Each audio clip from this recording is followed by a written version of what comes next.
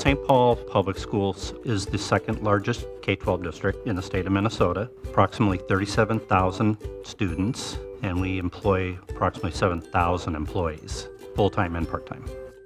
We were experiencing failures on servers, they would just shut down at any given time. And then our team would have to react to those incidents, and it just became a problem.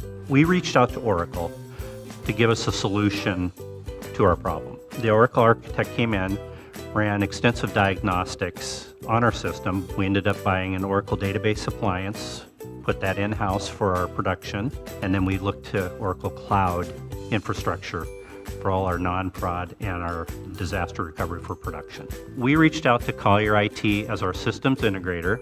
They're the ones that set up our Oracle Cloud solution. After the Oracle solution, life improved dramatically. We were able to refresh our databases four times faster than our previous system. We have dollar reductions, so we reduced our infrastructure costs by about 75% because we didn't replace 24 outdated servers.